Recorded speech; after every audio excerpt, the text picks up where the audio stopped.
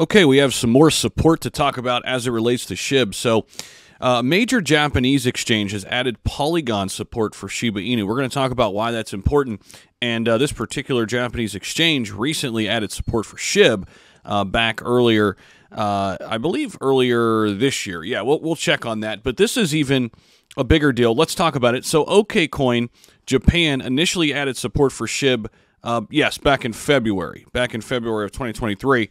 So now they've got the introduction of Polygon support. So what does this do? Well, it allows users there over on OKCoin Japan to have more flexibility for getting in and out of tokens, and in this case, Shiba Inu. So more pathways in to the asset is the best way to look at this. And the exchange now has already been offering uh, multi chain support for other prominent cryptos.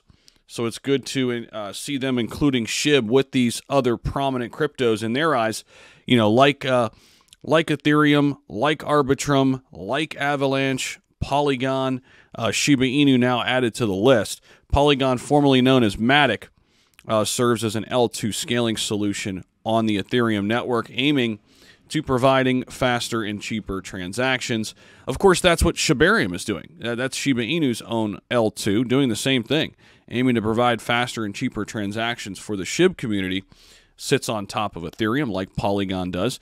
And this is cool because Shiba Inu developers and Polygon developers recently came together as uh, SHIB was dealing with some scaling issues.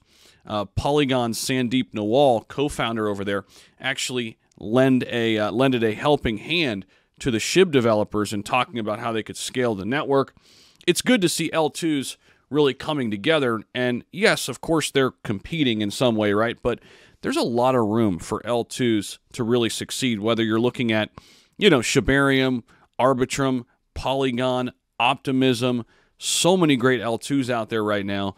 And, uh, you know, you can also look at Chainlink as kind of an L2, except they're not. They're just a bridge and a link between all of these blockchains. So the tech there is awesome in terms of what Polygon stands for. And uh, I think a lot more people are going to be coming in. So the fact that OKCoin Japan has Polygon support now for SHIB might not be something that's big right now, but could be big down the line. And uh, the move by OKCoin Japan to add Polygon should potentially increase its liquidity in the short term and make it more accessible to a broader audience right away.